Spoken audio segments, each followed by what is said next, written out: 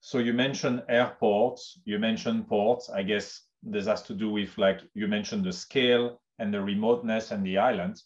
Um, I, I, was wondering if we could talk as well on um, the impact of climate change and the importance of resilience uh, vis-a-vis those assets, because there are a few things that our audience may have heard of. Uh, I don't remember if it was not Kiribati who at one point was discussing the idea to, to have the status of climate refugee, or there was a sort of a right, uh, an alarm to say, well, uh, the, the sea level is rising, uh, our coasts are, are being impacted, there is coastal erosion that impacts as well the, the roads that are on the coast, but also, I guess, the ports. So is that something that you would say is very important for the region, just looking at resilience? And if so, what are the concrete example of the projects that they can ad adopt as, as measure to try to, to fight, to mitigate, or to adapt uh, from climate change impact?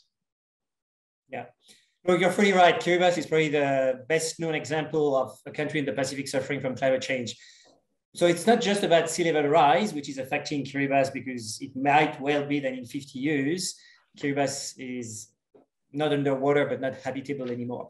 But so beyond the sea level rise, uh, there are also other aspects uh, related to climate change, like um, uh, fresh water, scarcity of freshwater, because oh, wow. in the, the, the water lenses, there's not that much fresh water anywhere on those islands, but the few that are left are often uh, becoming brackish.